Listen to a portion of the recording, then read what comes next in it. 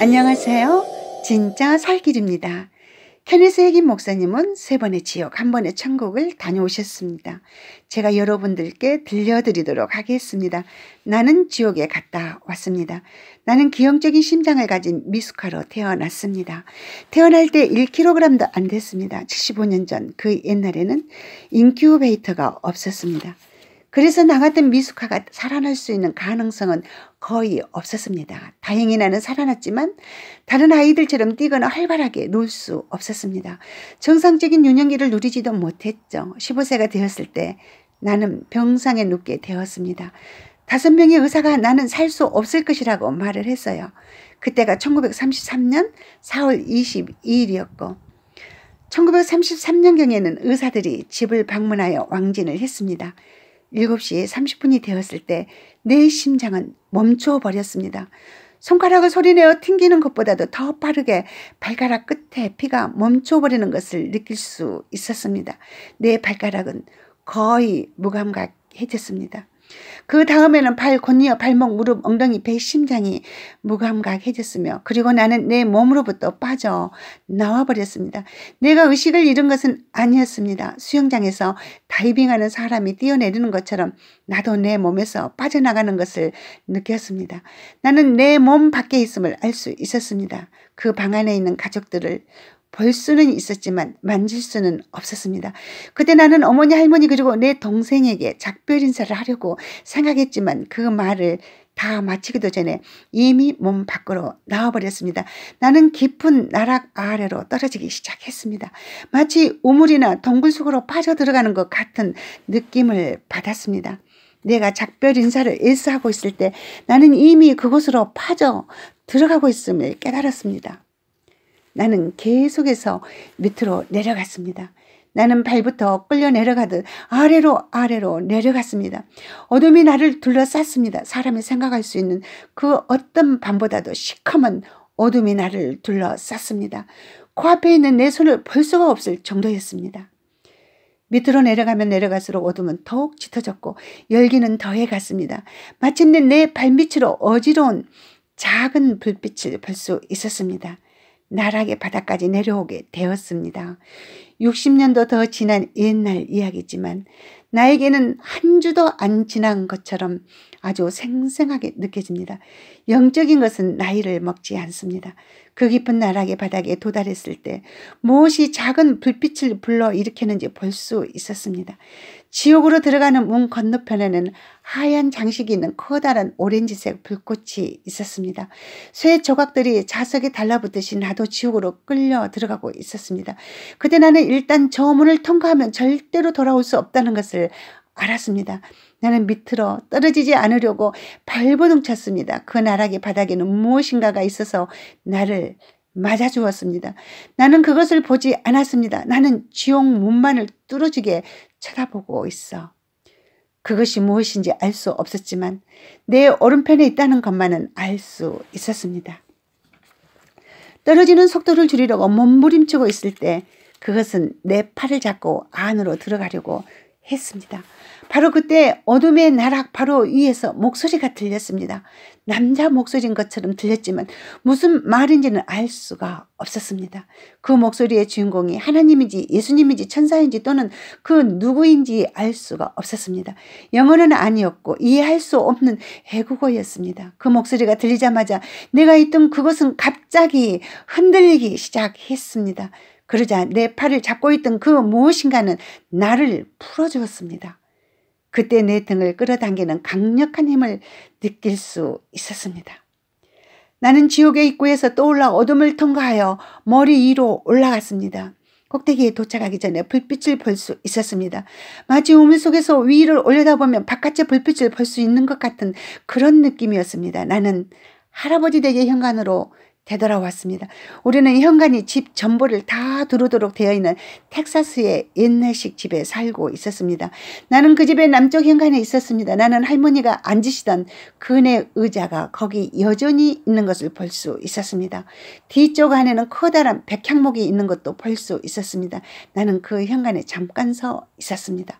그리고는 문도 지나지 않고 창문도 지나지 않고 벽을 통해 되돌아왔습니다. 아침에 일어나 신발을 신듯이 나도 내 몸으로 되돌아왔습니다. 내 몸 안으로 되돌아오기 바로 직전 할머니께서 침대 옆에서 나를 꼭 안고 있는 것을 볼 수 있었습니다. 내 몸 안으로 돌아왔을 때 나는 할머니와 다시 말을 할 수 있었습니다. 어떻게 알았는지 모르지만 나는 할머니에게 이렇게 말했습니다. 할머니, 나는 다시 떠날 거예요. 그리고 다시 돌아오지 못할 거예요. 할머니가 말씀하셨습니다. 얘야, 나는 내가 이미 죽은 줄 알았다. 할머니, 어머니는 어디 계셔요? 작별 인사를 하고 싶어요. 방 안을 둘러보았지만 어머니는 거기 계시지 않았습니다. 얘야, 나는 내 어머니에게 내가 이미 죽었다고 말했다. 내 엄마는 밖에서 기도하고 있단다. 그때서야 어머니의 목소리를 들을 수 있었습니다. 어머니는 집 밖에서 울면서 큰 목소리로 기도하고 계셨습니다. 할머니, 나를 떠나지 마세요. 제발. 나를 떠나지 마세요. 할머니가 없는 동안 죽을까봐 무서워요.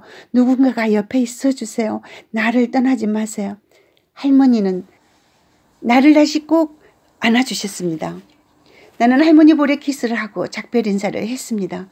또다시 내 심장은 멈추었습니다. 60년도 지났지만 여전히 그 기억은 오늘 일어난 일처럼 생생합니다. 내 몸의 피가 멈춰버리는 것을 느낄 수 있었습니다. 내 발가락은 거의 무감각해졌습니다. 그 다음에는 발, 곧 이어 발목, 무릎, 엉덩이, 배, 심장이 무감각해졌으며 그리고 나는 내 몸으로부터 빠져나와 버렸습니다. 다시 나는 밑으로 밑으로 계속 내려갔습니다. 몇 초 지나지 않았지만 마치 영원처럼 오랜 시간이 지난 것 같았습니다. 어둠이 나를 감쌀 때까지 아래로 내려갔습니다. 아득히 위에 있는 불빛은 점차 사라져 버렸습니다. 밑으로 내려갈수록 열기는 더해졌고 어둠은 더욱 짙어졌습니다. 깊은 나락의 끝에 왔을 때 지옥문을 볼 수 있었습니다. 그리고 그 무엇인가가 또 다시 나를 맞아주었습니다. 밑으로 내려가는 속도를 줄이려고 노력했지만 무엇인가가 나를 밑으로 끌어당기는 것 같았습니다. 그 무엇인가는 내 팔을 꼭 잡았습니다. 바로 그때 목소리가 들렸습니다. 무슨 말을 하는지 알 수는 없었지만 그 목소리는 영어가 아니었고 이해할 수 없는 외국말이었습니다. 그 목소리가 들리자마자 내가 있던 그곳은 갑자기 흔들리기 시작했습니다. 그러자 내 팔을 잡고 있던 그 무엇인가는 나를 풀어주었습니다. 그때 내 등을 끌어당기는 강력한 힘을 느낄 수가 있었습니다. 나는 뒤돌아서지도 않았는데 어둠 속으로 그냥 떠올랐습니다. 그리고 나서 머리부터 끌려 올라갔습니다. 꼭대기에 도착하기 전에 불빛을 볼 수 있었습니다. 지난번과 차이가 있다면 이번에는 침대로 돌아왔다는 것입니다.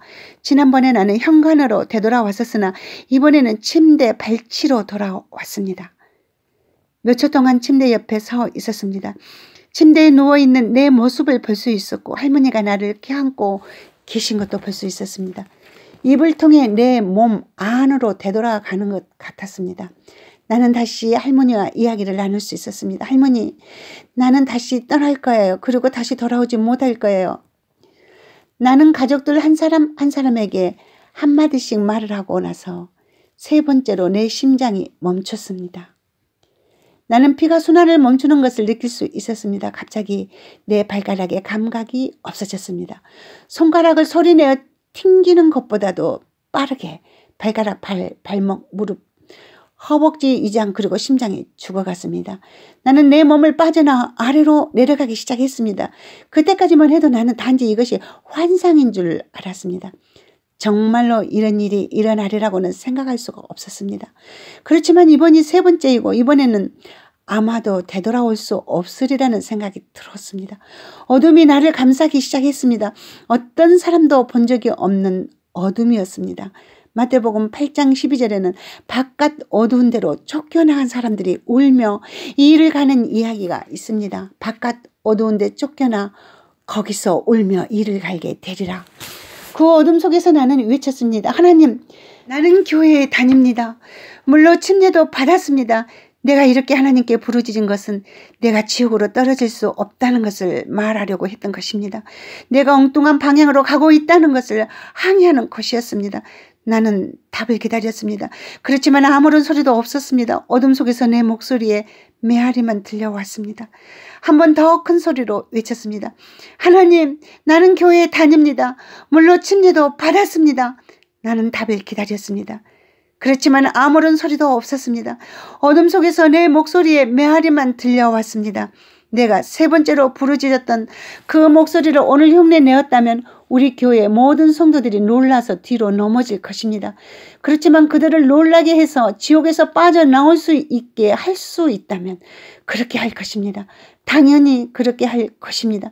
나는 큰 소리로 부르짖었습니다. 하나님, 하나님, 나는 교회에 속해 있을 뿐만 아니라 물론 침례도 받았습니다.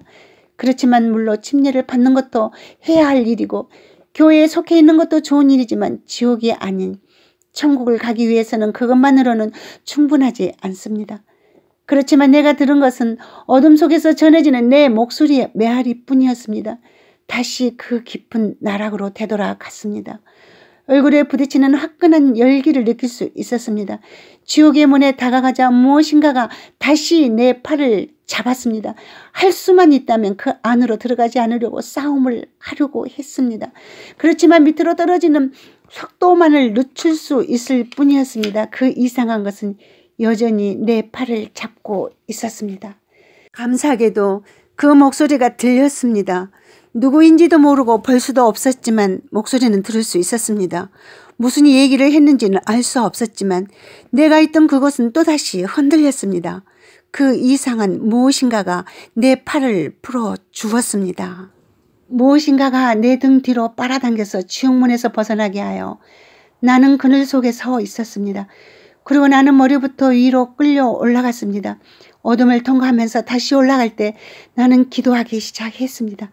내 몸 안에 있는 사람, 즉 내 영은 영원한 것이며 영의 사람입니다. 나는 기도하기 시작했습니다. 하느님, 예수 그리스도 이름으로 당신에게 다가갑니다. 내 죄를 용서하여 주시고 나의 모든 죄에서 나를 깨끗이 씻어 주시옵소서. 나는 어둠을 벗어나 내 침대 곁에 섰습니다. 세 번의 경험의 차이는 처음은 살아 돌아왔을 때 현관으로 돌아왔었고 두 번째는 침대 머리로 돌아왔었고 세 번째는 침대 바로 옆으로 돌아와서 즉시 내 몸 속으로 뛰어 들어갔습니다. 몸 안에 들어가자마자 내 목소리는 아까 하던 기도를 계속 이어갔습니다. 이 모든 것이 1933년에 일어났습니다. 1933년도에는 오늘날 같이 자동차가 없었는데 그때는 대공황기였기 때문이었습니다. 사람들은 나 어머니가 너무나 큰 목소리로 기도해서 온 동네의 차들이 엉켜버릴 정도였다고 말했습니다.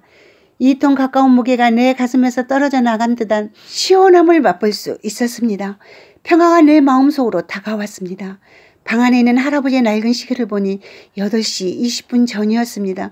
이 모든 것이 10분 만에 일어났습니다. 1933년 4월 22일 8시 20분 전에 남쪽 침실에서 나는 거듭났으며 구원받았습니다. 그렇지만 나는 여전히 아파서 침대에 누워 있었고 의사는 내가 죽을 것이라고 말했습니다. 실제로 다섯 명의 의사가 같은 얘기를 했습니다. 그 중에 유명한 메오 클리닉을 개업하고 있던 한 의사는 내가 살 수 있는 확률이 100만 분의 1도 되지 않는다고 말했습니다. 나는 죽을 수밖에 없다고 생각했습니다. 그렇지만 내가 어떻게 했는지 아십니까? 나는 매일 밤 찬송하다가 잠이 들었습니다. 집안의 모든 불은 다 꺼지고 식구들도 다 잠자리에 들었기 때문에 나는 혼자였습니다. 나는 생각하는 것도 어리고 나이는 겨우 15살이었습니다. 의사가 내게 말했습니다. 너도 알다시피 너의 심장의 상태를 고려해 보면 너는 언제든지 죽을 수밖에 없단다.